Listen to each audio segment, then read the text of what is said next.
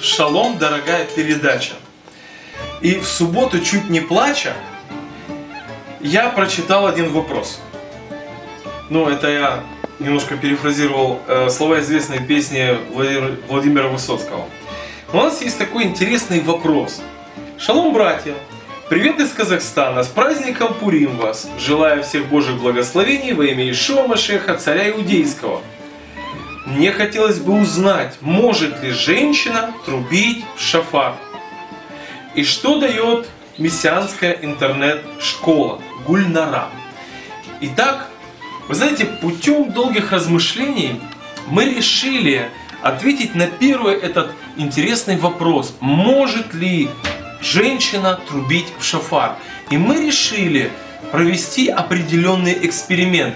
Видите некоторым людям для того, чтобы определиться с этим вопросом, необходимо увидеть действительно весь эксперимент, его чистоту, модель и так далее, и так далее.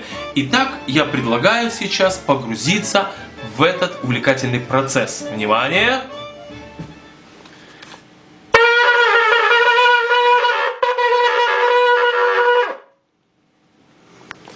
Интересно, правда? Давайте посмотрим, может ли не только женщина трубить в шафар.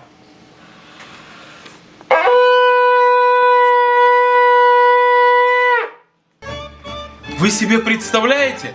Наш эксперимент просто дал нам потрясающее открытие. Физиологически, друзья, это возможно. Да, женщина и не только, даже девочка может трубить в шафар. Гульнара, надеемся, мы в полной мере ответили на ваш вопрос. Дерзайте.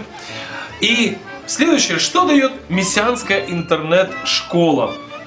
Вы знаете, я думаю, с этим вопросом лучше обратиться э, к мессианским интернет-учителям и нашим дорогим друзьям из города Одессы. Спасибо большое. Всего хорошего. До свидания. Шалом.